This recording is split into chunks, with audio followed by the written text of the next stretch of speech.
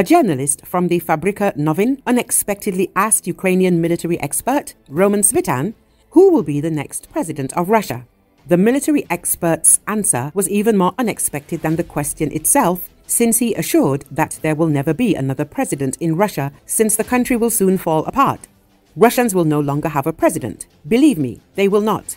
Under Putin, Russia will fall apart. That is, Putin has already protected himself from any elections and re elections until 2030.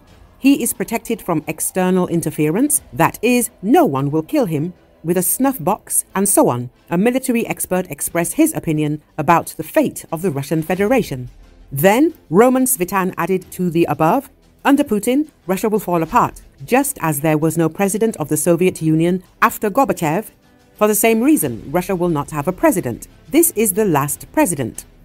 The Russian Federation is the product of the Soviet Empire's collapse, just as the Soviet Union was the product of Imperial Russia's collapse. Looking at the long history of empires, it's not at all surprising that today's Russia has embarked on a project of re imperialization, the attempt to create as much of its former empire as it can. Equally unsurprisingly, Russia's effort will fail. The vast majority of seemingly stable empires decay over time until all that is left is the imperial center.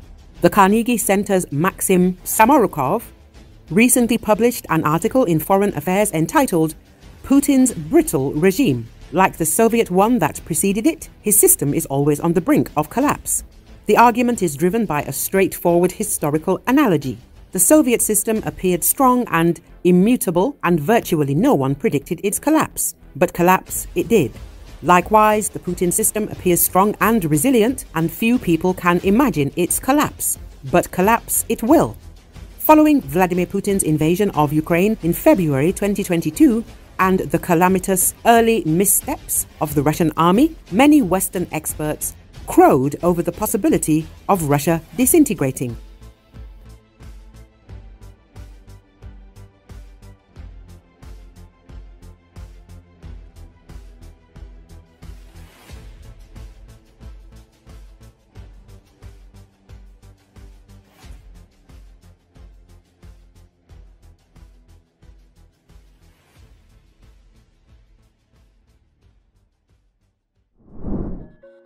The US announced a new military aid package to Ukraine. As part of the package, Ukraine will receive missiles, HIMARS ammunition, artillery shells, anti-tank weapons, M1117 armored vehicles, and other military equipment. This package will, for the first time, include, which can hit targets up to 110 kilometers away. This package includes the authorization of a Presidential Drawdown Authority package, which has an estimated value of 375 million US dollars, to provide Ukraine additional capabilities to meet its most urgent needs, including air-to-ground weapons, ammunition for rocket systems and artillery, armored vehicles, and anti-tank weapons.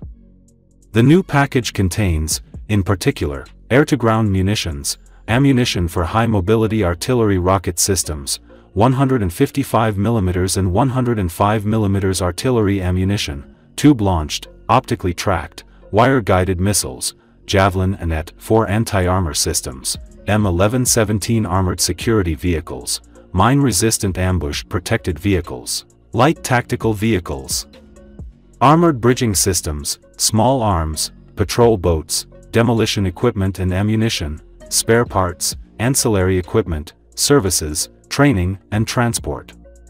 The Pentagon highlighted that this marks the 66th package of military equipment the Biden administration has supplied to Ukraine from U.S. stockpiles since August 2021. Ukrainian President Volodymyr Zelensky stated that the United States has allocated $7.9 billion in new military aid to Ukraine and imposed new sanctions against Russia. I am grateful to U.S. President Joseph Biden, the U.S. Congress, and both parties, Republicans and Democrats, as well as the entire American people for today's announcement of significant defense related to Ukraine, amounting to a total of $7.9 billion, and for imposing sanctions against Russia, the president stated. The head of state also thanked the United States for finding a way to allocate the remaining previously designated funds to ensure that the president's authority to allocate aid would not expire before the end of the U.S. fiscal year.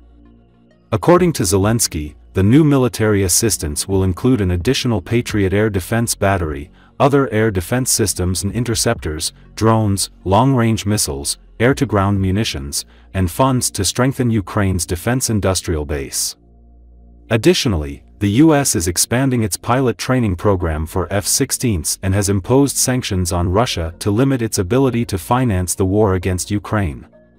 We have always valued the strong bipartisan support in the United States and among Americans for Ukraine's just cause of defeating Russian aggression, Zelensky added.